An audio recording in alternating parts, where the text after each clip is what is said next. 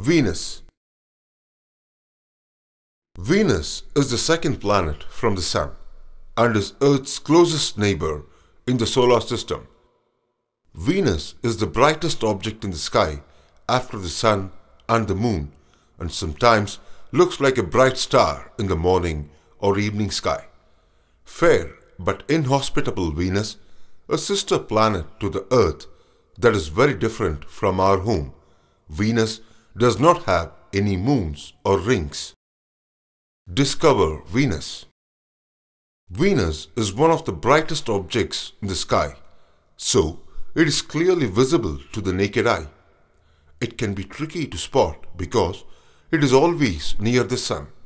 Because of this, it rises and sets with the sun each day.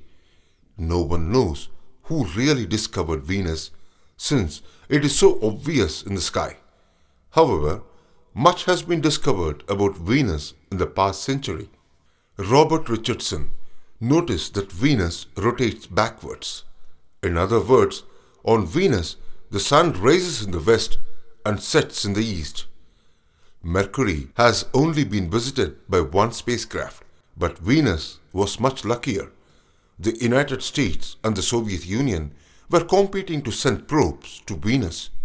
Almost everything we know about the planet came as a result of this race.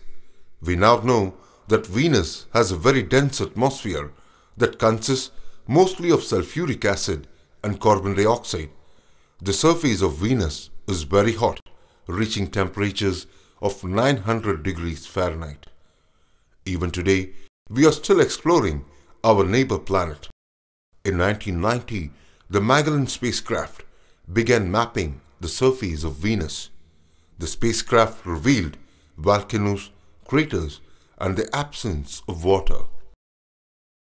Venus, inside and out. The planet is slightly smaller than Earth and its interior is similar to Earth. We can't see the surface of Venus from Earth because it is covered with thick clouds that strongly reflect sunlight.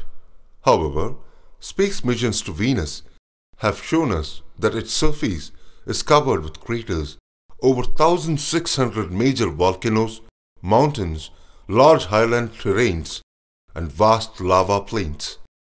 The atmosphere of Venus. The atmosphere of Venus is very hot and thick. You would not survive a visit to the surface of the planet you couldn't breathe the air. You would be crushed on by the enormous weight of the atmosphere, and you would burn up in surface temperatures high enough to melt lead. The atmosphere is composed mainly of carbon dioxide 96%, 3.5% nitrogen, and less than 1% is made up of carbon monoxide, argon, sulfur dioxide, and water vapor. In ancient mythology, Venus is known as the goddess of love and beauty.